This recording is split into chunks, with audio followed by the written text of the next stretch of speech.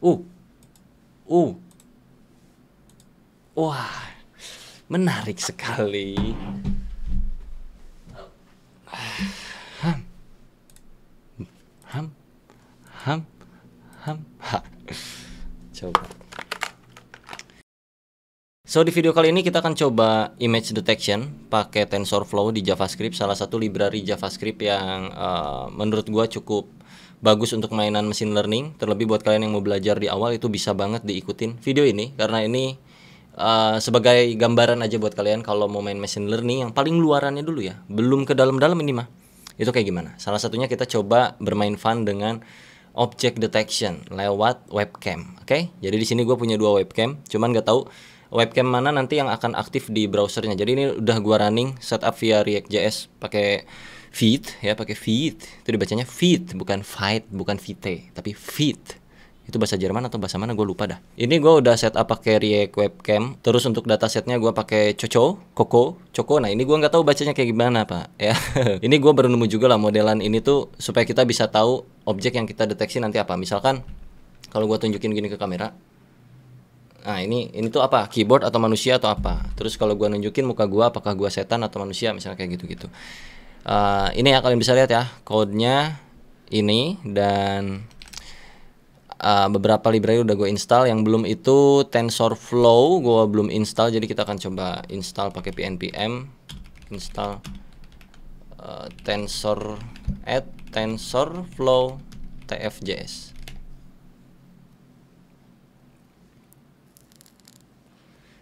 Nanti kita akan main sederhana aja. Jadi webcamnya muncul di browser terus browsernya itu bakal memberikan apa ya pop up untuk permission. Kalau kita allow maka videonya akan muncul. Terus kita bisa pilih kameranya. Itu itu tapi bawaan browser bukan gue yang loading. Terus nanti kita akan load dari gambar yang kita munculin di browser.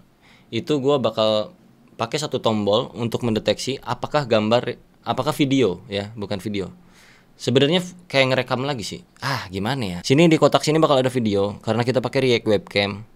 Video tersebut kalau kita pencet tombol nanti di sini gue bikin tombol, pas diklik itu harus bisa mendeteksi tuh. Si program harus bisa mendeteksi apakah objek yang sedang ada di dalam video webcam tersebut. Nah, kemungkinan besar itu sebenarnya kayak nge-capture dulu tuh. Pas gua klik tombol gitu, dia nge-capture ke library-nya TensorFlow dari segi gambar terakhir yang tercapture atau video terakhir yang tercapture itu apa formatnya apakah dia sebuah kelas keyboard kelas manusia kelas setan kelas apa gitu misalkan ya. Ya jadi nanti ada skornya juga. Jadi buat kalian yang belum tahu um, ini sebagai gambaran terluar aja dari bagian machine learning yang mana machine learning itu juga salah satu bagian dari artificial intelligence. Jadi semoga ada gambaran buat kalian yang belum pernah mainan kayak beginian. Oke kita coba setup ya dikit ya. Tensorflow tfjs dan gua butuh uh, coconya. Coco. Model aja lah. Ah coco aja deh coco model. From at tensorflow coco ssd um, gua akan bikin satu tombol di sini. Tombolnya standar aja nggak pakai apa-apa cuman ada tombol ada ada trigger when on click gitu ya bro ya. Ketika di on click dia akan apa gitu. Prediction misalnya predict. Gua bikin satu function predict di sini sementara kita konsol log dulu. Prediksi. Coba.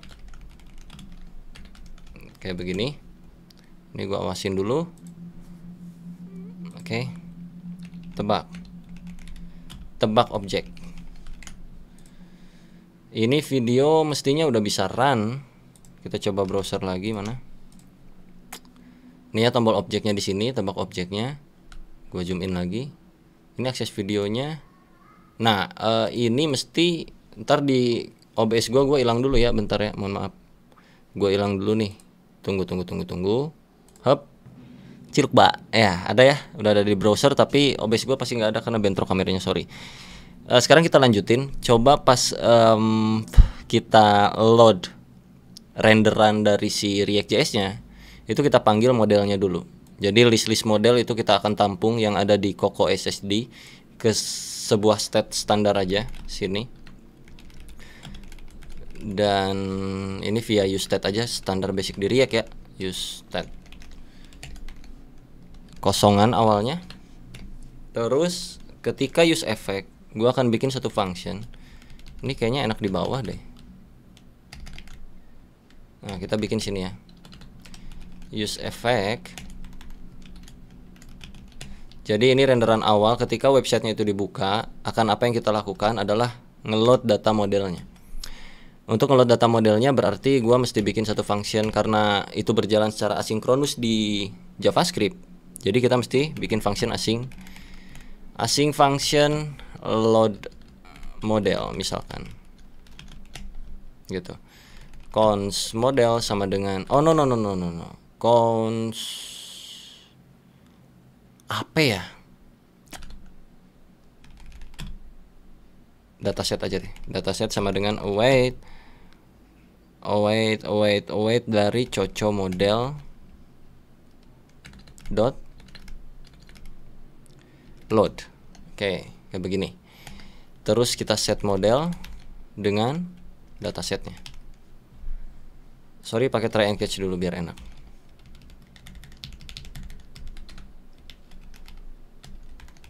uh, oke kayak gini dulu ya seperti ini terus di use efeknya kita tinggal load si modelnya lewat TensorFlow. Jadi ketika TensorFlow-nya ready, tf.ready .then kita akan load data modelnya. Load model. Hmm. Ini kita console.log dataset ready. Sederhana gini dulu ya. Terus nanti pas klik tombol predik itu dia akan prediksi model yang sudah tersimpan di sini. Oke jadi kalau kita konsolog di sini ini tapi bakal manjang ya kayak infinity loop gitu model itu pasti akan merudul pak. Lihat ya gue buka konsol lognya datasetnya ready. Modelnya ada. Ininya semuanya sudah ada. Ya, tinggal kita eksekusi. Kalau kita klik tombol uh, apa tadi? Mana nih? Tebak objek. Klik ini maka dia harus menebak objek terakhir kita itu apa yang ada di video ini. Caranya kita tinggal panggil modelnya di sini kita deteksi dulu di bagian prediksi ini model.detect dari mana ngedeteknya? Dari webcam. Ya. Ketika tombol predik diklik, kita harus model detection, deteksi model yang mana variabel model ini sudah punya tampungan data dari state yang ada. Dari mana datanya? Dari coco model. Oke, okay? coco model ngeload dimasukin data loadnya ke bagian set model. Yang artinya model ini udah punya data terakhir yang ada di dalam koko model.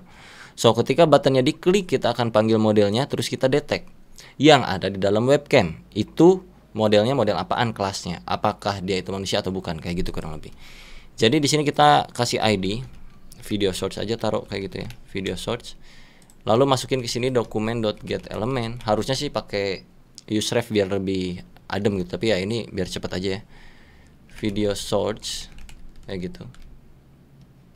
Oh ini mesti mesti asing function juga bro karena berjalan secara asinkronus juga di belakang ini jadi kita mesti tampung ini di sebuah variabel taruh aja variabelnya uh, detection sama dengan white model lalu kita konsol di sini detectionnya oke okay.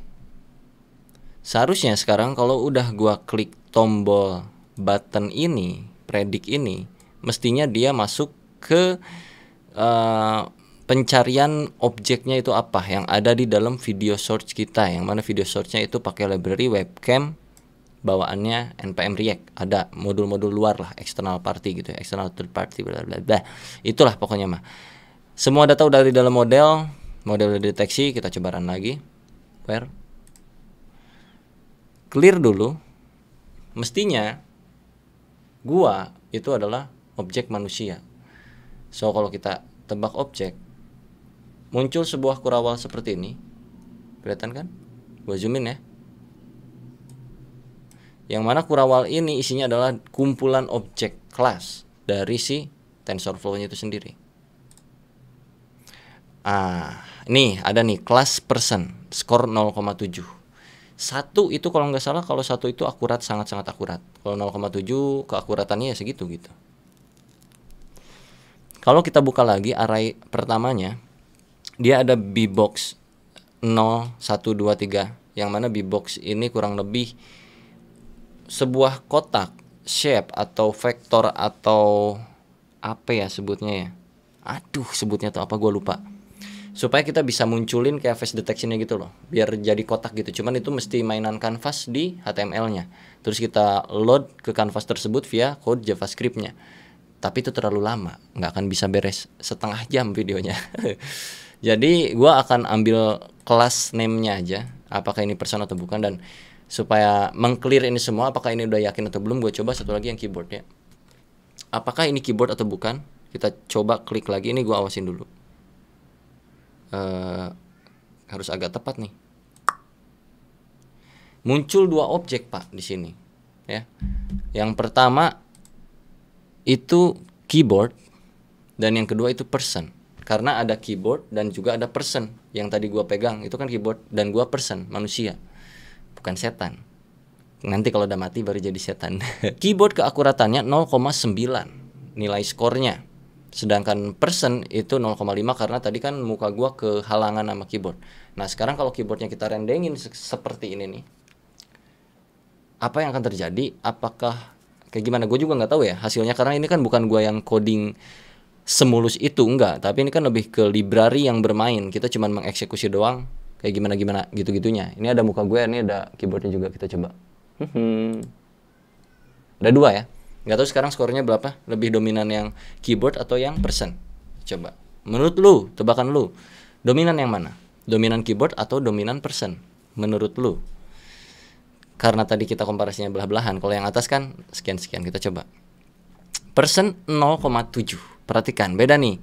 Di sini keyboard skornya 0,9 karena memang tadi gua giniin keyboardnya. Sekarang person uh, berapa? 0,7. Tadi person 0,5 keyboard jadi 0,6 jadi dari library dataset yang kita pakai si Coco SSD ini itu menunjukkan lumayan akurat pak. Nah tapi nggak bisa menjamin juga bahwa semuanya akan selalu akurat. Kita contohkan handphone. Apakah dia bisa tahu juga ini handphone? Oke bentar ya. Handphone dan manusia berarti nih ini kan gelap nih handphone gua. Gua nyalain dah. Aduh ada notif lagi. Bentar bentar bentar. Uh, gini aja. Heh. Pak pak gimana? Ah ini ya. Ah menurut gue sih nggak kedetek pak. Eh kedetek anjing cellphone. 0,97 kok akuratannya gokil. Gue cari yang nggak akan kedetek ya. Buku bentar buku. Ada buku dari Mbah Sujewo Tejo. Buku andalan gua. Tuhan yang Maha Asik. Kita akan buka. Apakah dia tahu ini buku? Oke, kita coba. Lihat kelasnya. Book dengan skor 0,8. Uh, topi. Ini harusnya dia nggak akan tahu nih. Coba ya. Gua ngumpet, sorry. Person dia nggak tahu tuh kalau yang beginian. Jadi tergantung si dataset yang kita punya uh, apa lagi ya nih tupperware tahu nggak lu ini tupperware? Ayo. Bah wah enggak enggak enggak udah. Intinya kayak begitu kurang lebih. Nah sekarang kalau lu pengen munculin ke dalam browsernya gimana ya? Kita tinggal panggil sih isiannya. Jadi gue bakal hardcode aja nih. Gue bikin satu atau dua uh, dua ini ya apa namanya? Objek target objek dua dua state. Satu adalah object name. Set object name dan satu lagi. Ah udah gini aja. Satu lagi target objek target apa tuh score ya? Score nah karena ketika button itu kita udah tahu apa datanya maka di dalam sini gua akan jika skornya ya detection dot dia tuh ada di dalam sebuah apa tadi uh, objek gak sih? Array ada dalam sebuah array berarti gua validasi dulu. Jika lebih dari 0 maka kita map detection.map uh, resultnya dan i nya terus kita coba konsol log dulu. Score-nya. Lagi ya coba mapping dulu mapping. Jangan jauh-jauh dulu. Detect gua. Skornya 0,7 persen ya. Berarti kalau pengen name nya console log kelas. Coba lagi. Pak persen 0,7 right gua akan masukkan ini ke dalam state nya so set object name result.name eh result.class dan satu lagi set astaga gua shortcutnya lupa. Set object score result score jadi di sini gue tinggal bikin sebuah uh, H3 aja. Objek objek name maka objek name. Jika tidak dot string deh untuk meyakinkan. Jika tidak maka kosong. Satu lagi score. Objek score. Kita cobain ya. Clear cair? Kenapa jadi cair anjir?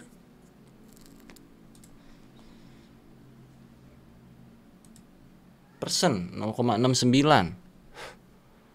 keyboard keyboard keyboard.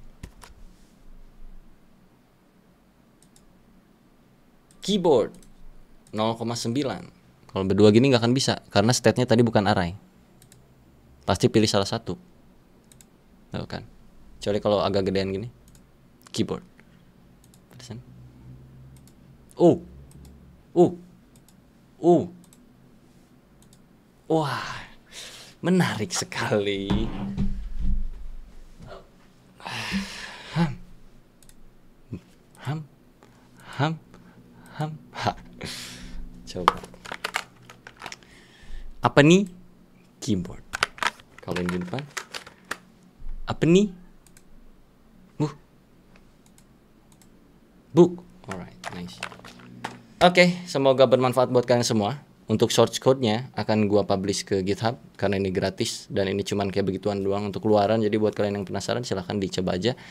Tinggal diambil aja repositorinya terus kalian coba masing-masing di rumah uh, apa yang terjadi ketika A, B, C, D dengan kode yang sederhana, nggak nyampe dua file tadi kan cuma satu file dengan bantuan tiga library, React Webcam, TensorFlow JS dan juga apa tuh satu lagi Coco SSD untuk data uh, datasetnya. Jadi kalau kalian mau mainan machine learning itu pelajari uh, kalau pemula ya, apalagi kalau kalian ranahnya web itu bisa dari TensorFlow JS. Kenapa gue bikin video ini? Karena terinspirasi dari kelas fullstack.id yang mana ketika gue lihat kurikulumnya itu kan ada full stacknya tuh. Dan pas gue cek ke Codepolitan itu ada materi tentang machine learning. Terus gue cobain, cuman di sana itu pakai Python. Kalau di Python mah kan ada banyak, banyak banget yang bisa kalian pakai library-nya. Kalau di JavaScript salah satunya si TensorFlow ini gitu. Jadi kalian bisa baca dokumentasinya langsung. Atau kalau lu pengen belajar secara online uh, bisa dicek di kelas fullstack.id ataupun di Kodopolitan dan kalian itu bisa pilih materinya itu banyak banget ada machine learning, artificial intelligence, ada uh, yang pakai Python, ada yang pakai JavaScript, ada yang Laravel, ada yang apa itu banyak materinya di sana. Dicek aja linknya ada di deskripsi.